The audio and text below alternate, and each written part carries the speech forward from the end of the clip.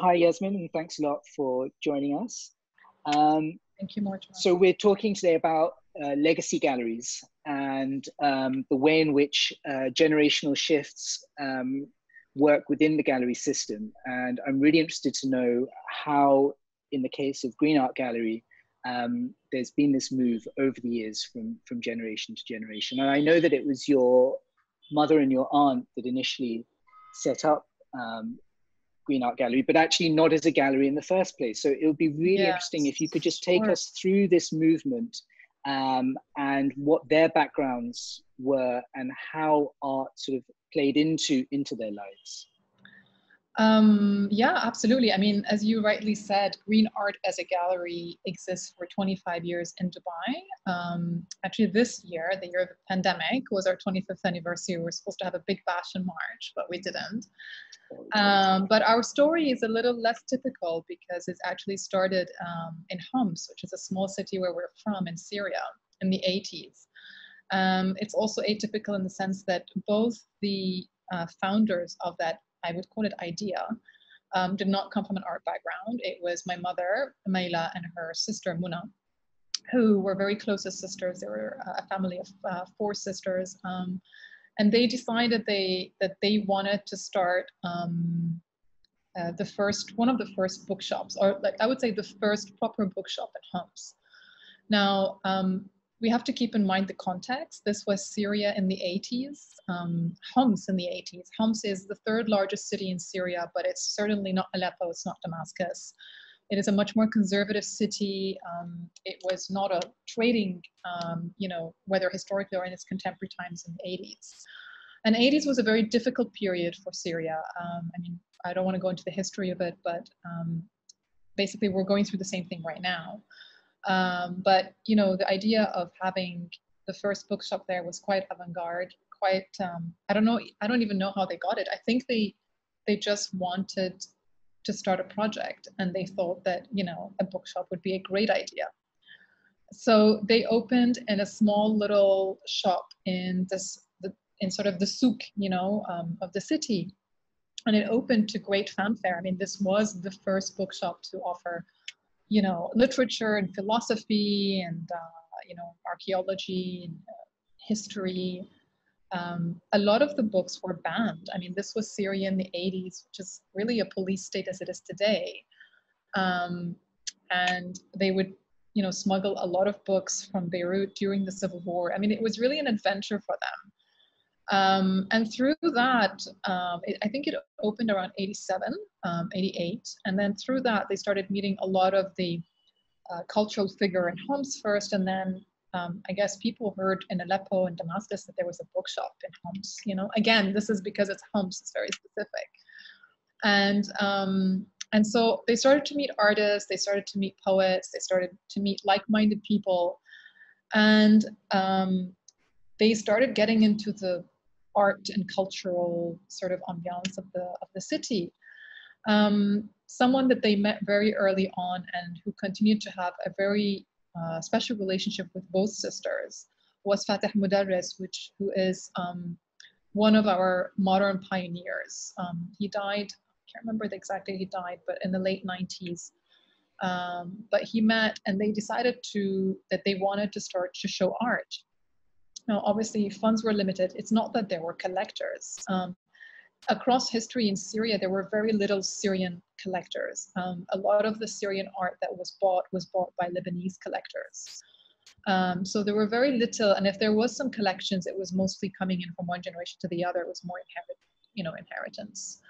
Yeah. Um, and so they had a little attic on top of the small bookshop, um, and um, they decided to use that, I think it was about 20 square meters, as the exhibition of Fateh Mudarris, who at that time was quite well known. I mean, he was not a nobody.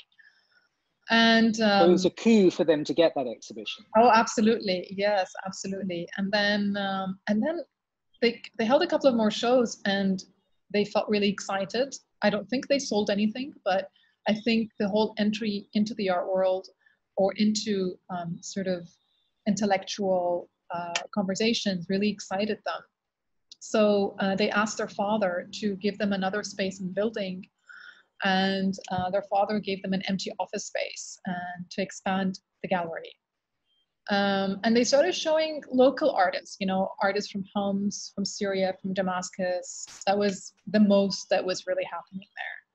So this lasted a couple of years, but in the meantime, in 19, uh, the, the, the bookshop stayed on. Huh? I mean, it stayed on for quite a while. I would say the bookshop, if I'm not mistaken, it stayed until early 2000s. Um, oh, really? Yeah.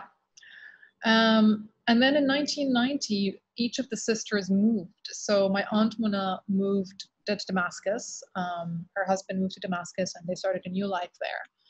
Uh, and she then decided to open up her own gallery called Atassi Gallery, uh, which um, I mean, for for about a, that decade, it was it played a really important role in the cultural sphere of Syria. This was a time of no commercial spaces. It was mostly like you know French Institute, the Goethe, the Alliance Française, and like it was really the place to see um, the newest art from the region. Um, I mean, she showed some really avant-garde artists uh, at that time. Uh, my mother, on the other hand, she moved here to Dubai in 1990. Um, I was eight years old, and uh, we didn't. I mean, she didn't really have the funds or the capacity to open up her own space. It was a new city, and they were just starting a new life. Um, so in in our new, in our villa, um, she decided to use the the guest room to start selling art or to show art that she thought was interesting. Um, and a couple of years later, she met her partner, her business partner, Amna, uh, who was a Saudi, uh, lovely Saudi woman, uh, who was a friend of my aunt. And she wanted to start a business of her own, but didn't know what. And uh, so she joined up with my mother to open up Green Art Gallery in 1995. Um, and that's when the gallery, how the gallery opened up as Green Art Gallery. But I always say that our history and our uh, under, understanding of culture started really in the in the late 80s. Yeah, and when she began the gallery in in the mid 90s in Dubai, was it with a roster that um, looked to its uh, to her Syrian um, roots, or did yes. she then, once she was in Dubai, look to to a different? I mean, of course, Syria was something that was very close to her, and this is what she knew, and this is you know she had many connections uh, within Syrian artists. But then she started expanding. Um, she started to show Lebanese artists like Paul Guiragossian and uh, Hussein Madi. Uh, she started showing Iraqi artists, Ismail Fattah, Saadi Kaabi, Ali Talib. These are all names, uh, Dia Azzawi. I mean, most, Chant Avedissian from Egypt, um, most of the big regional centers, artists, passed through Green Art Gallery at some point or another. Now, of course, at that time, it was not um, a traditional gallery as we call today. There was no representation of artists. Uh, it was really like a, I would say like a cultural salon d'art, you know, uh, an art salon really, I would call it. And she could not, um, she wouldn't, I mean, it, again, here selling was very, very difficult. So she had to rely on other methods of supporting the business, um, you know, through hotel projects and other things um, that she had to right. do commercially um, because otherwise, you know, she couldn't do what she'd like to do. Uh, but ask anyone who's been in the UAE for the past, I would say 20 years, 30 years. There's no way that someone could tell you that they did not know Green Art. When Green Art had an exhibition, all of Dubai turned up uh, in the 90s. Really? There was only one other gallery at that time, which was Majlis Gallery. It was in the um, old part, uh, like uh, on the creek uh, of Dubai, and it had like a sort of a different kind of program. It was more touristic. Um, it was it's owned. I don't know if the lady's still around, but uh, lovely. Um, I think her name was Allison. Uh, but Green Art was the place to see yeah. some of the best modernists from the region. Um, yeah. Which means that I mean, Yasmin, you were obviously immersed from a very young age in art, um, but it seems that you initially chose a different path and you didn't necessarily study fine arts you were in a different no, world didn't. so could, could you talk to us a little bit about how you how you came in into the into the visual arts and a little bit about the transition between generations um, and and how, how uh, that that that worked yeah out. my trajectory has also been uh, not very typical um, and also organic and in a similar sense that my aunt and my mother came into it um, and I think um, I think obviously my background, my um, upbringing in within the arts and culture, um, had a big impact on my way of thinking, but also um, I was a very scientific kid. So um, I loved math, physics, and chemistry. I was really good at them. Um, I never ever thought that I would take over the gallery, and she never ever told me in any explicit form that this gallery was to be continued. For her, it was a personal project uh, that she loved, that she lived from, um, but she never kind of, you know, put the burden of, you know, what's going to happen to the gallery.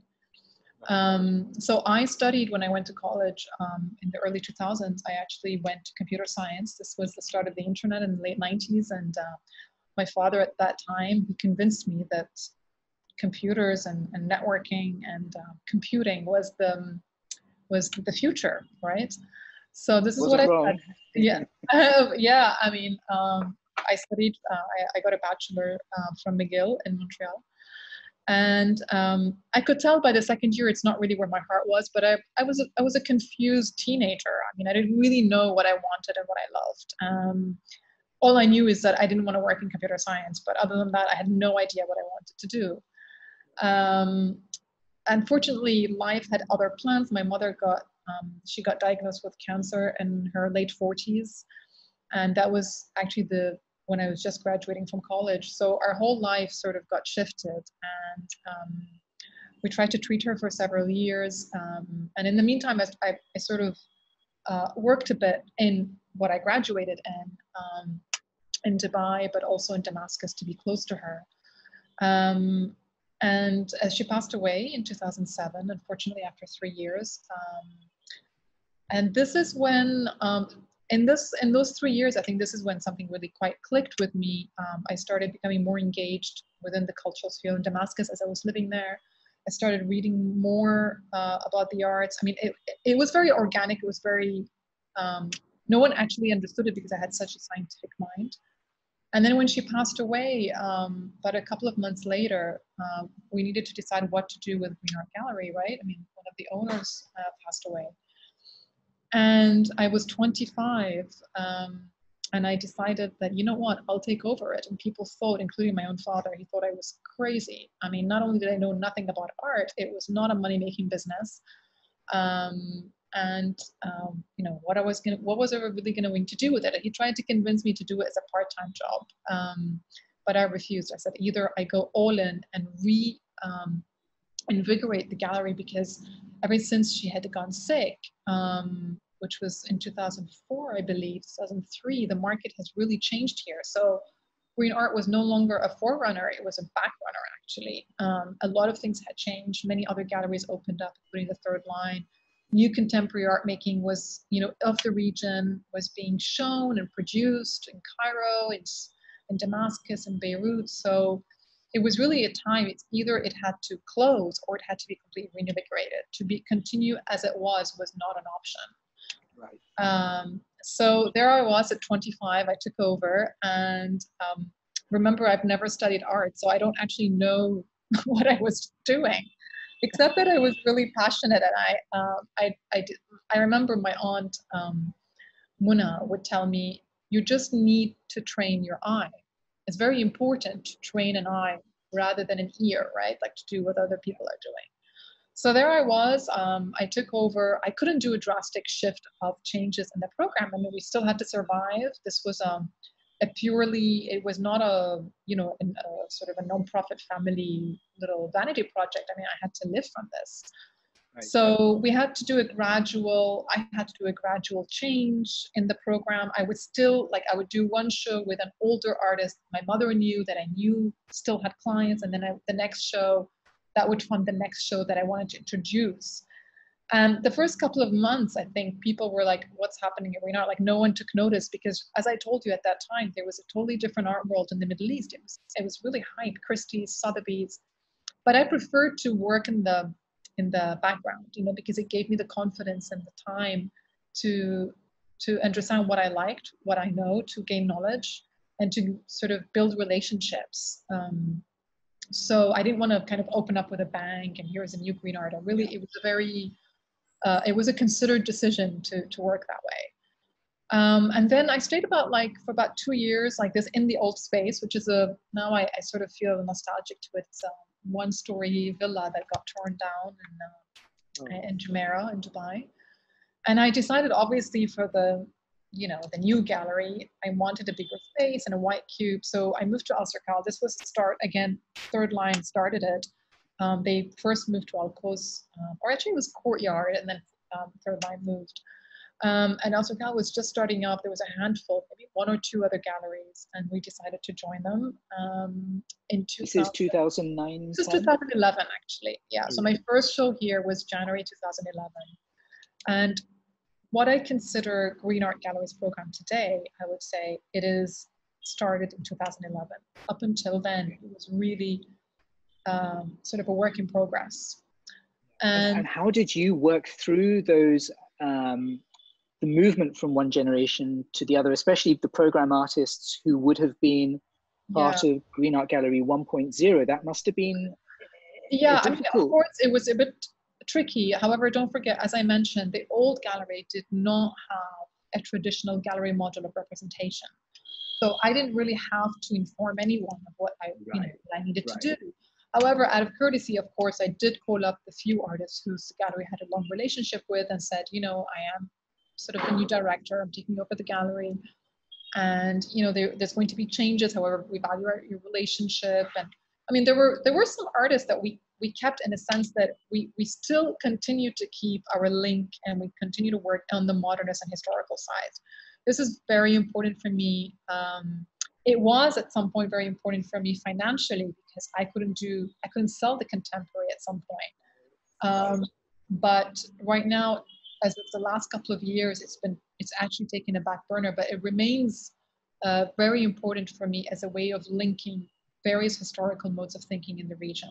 I mean, we are really one of the few galleries in the re- in the region, especially in the Gulf, that has um, had such a diverse program of yes. contemporary and modernist thinking. So I try to do every once in a while a historical show. We did a beautiful show um, two years ago on Modernist Women of Egypt, looking at uh, female artists uh, from Egypt in the uh, 50s, 60s, and 70s, um, looking into the sort of the whole feminist movement of Egypt in the early 20th century. So this for me is important. I usually work with curators um, to do that, but uh, it was not a, it was gradual. And then obviously once we moved, everybody understood that it was a new gallery and right. i started you know my relationships with new artists that i wanted yeah. to bring on board and what i sense yasmin is that you know you you you start the gallery in 2011 you you're you're gradually moving the program to a to a different kind of space. You're perhaps internationalizing also the the reach of of the program. Could you talk about uh, your uh, your decision or, or the manner in which you were able to to uh, present to a global platform. Um, Absolutely, yeah, you're right in that sense that um, you know up until uh, I would say 2012, our market was mostly local, regional a bit, um, but I understood that the market is very small here, and I had, of course, I was a 25 year old, 26 year old, very ambitious person, and I wanted to represent in internationally on the on the best fairs and uh, uh, you know, um, obviously that was a long way ahead, but in 2012, we got accepted to our Basel statements with uh, a project by uh, Shadi Habib Allah, one of our artists from, from Pal- a Palestinian artist. Um, and that was really our first, I mean, obviously, you know, the relationship with Art Basel takes a long time, but we did two, I think two or three statements uh, up until now with Art Basel. Then we started going to Liste. Uh, we started doing Frieze, We started doing FIAC. So I understood very much the quality of the platforms I needed to present and hence the quality of my program and through those platforms. Yeah. But it takes time, you know, as you know, I mean, it's not that, you know, you're suddenly in Art Basel that people are going to come and buy from you. It's actually, you probably know that better than me, that it's a, a loss making machine most of the time. And uh, it really is uh, a dedication uh, of time and funds and, and sort of uh, an effort to um, to commit to showing the program on an international level. But I think it's really worth it, and it has it has really shown the gallery in a different light. Um, I think as Yeah. Could you perhaps also talk about the move within Dubai, um, the Dubai with the, the, art fair coming to, to the city and with Alserkal increasingly becoming a hub for um, galleries of international quality. Could you talk about how Dubai itself has um, has emerged as a regional center um, and how Green Art Gallery has kind of positioned itself within that um, yeah, within that community. Yeah, I mean, when uh, I think the first art buy was 2006, and I remember very clearly I was there, not working in the art world, had no idea I was ever going to be in the art world. Um, I went because my aunt Mona took part. Uh, at that time, she had still the gallery. Right now, she um, she shifted to an art foundation art collection and to support yes. art and culture. But um, I do remember, I remember you know, this was Dubai mid 2000s. It was like on fire. You know, there was nothing that you couldn't sell in Dubai. Um, you know, it was just something else. And obviously, then Christie's opened. Um, and that was, you know, the whole rush of Middle Eastern and Turkish uh, market and Iranian market um, to Dubai. There was a sense of euphoria. There was a sense of something was happening. Um, I wasn't part of it. I have to tell you that. People made a lot of money in between 2006 and 2008. Um, it was uh, not even 2006, 2004, 2008. It was really like everybody was buying art at excruciating prices. I mean, there was no logic whatsoever um, on the price level. Um, 2008, obviously, with the crash, was a totally different um, uh, ball game. And when I started in September 2008, it was the crash of Lehman Brothers.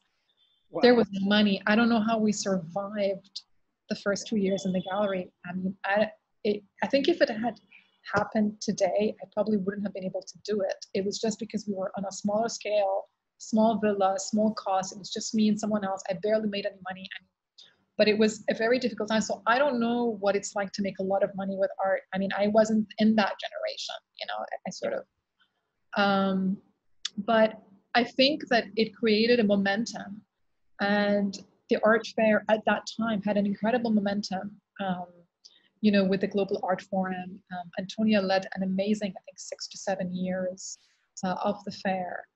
And it was the meeting point. I think it was really successful to create Dubai as the meeting point between South Asia. It also was very important in bringing South Asian art to the Middle East. I mean, before that, you know, the regions are pretty polarized, as you know. You know, we don't really know about each other's regions.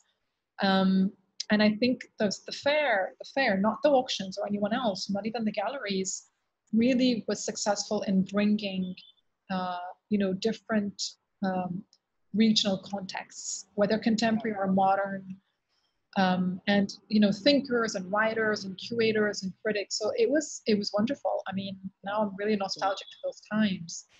Um, I can tell you from our perspective, going to early Art Dubai, is it was perfect because it was a neutral playing field where we could especially talk to our Pakistani friends, artists, collectors, yeah. uh, in a, in a space that it would have been impossible back in India. So Dubai was this perfect. And then brought in the curators and the museums and the collectors from the West to discover markets that they have no access to when going to Basel or London or New York. So I, I think it was I think the long-term effects of the fair in its early years we can still feel today.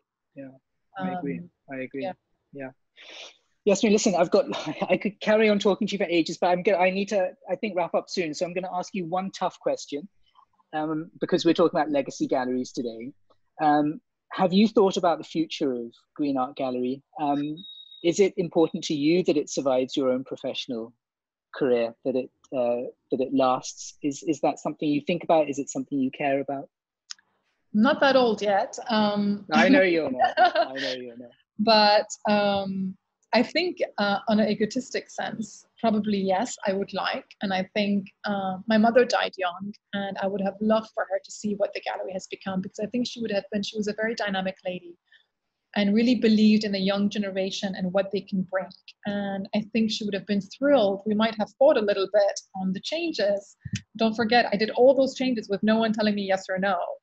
Um, so one of your questions was about, you know, what the four founders. I mean, I didn't have anyone to tell me yes or no. Um, but um, I haven't really thought about it. I'm, I'm hoping maybe if, if ever I have a, my own generation that they'll take over, or maybe not. I think that also um, I kept the name the same because I think that you know I'm, I'm, I'm quite emotional to what green art was at that time. And I think the name is important, but essentially at the end of the day, a gallery is what the current owner is, what current owner brings in terms of personality, in terms of networks, in terms of the collectors. I'm not sure. I mean, I don't think I have many collectors from my mother's time. I mean, at the end of the day, they were friends and they trusted a different person, a different owner. So a gallery is what it is because of its current owner. And if the next generation would like to take that forward and create their own little universe, so be it. But if not, it's okay. You know, uh, the gallery is the owner, the artist that it works with and it has built relationships with. And artists remain at the center of everything that we do. I mean, I always say that artists are my client. The clients of the gallery are not the buyers or the artists. I have to keep them happy. Beautiful. Yeah. That's really nice. Well, Yasmin, I think that's a really wonderful way to wrap up. And I'm extremely grateful for your Thank time you, today. Thank you for your time. Yeah. Of course.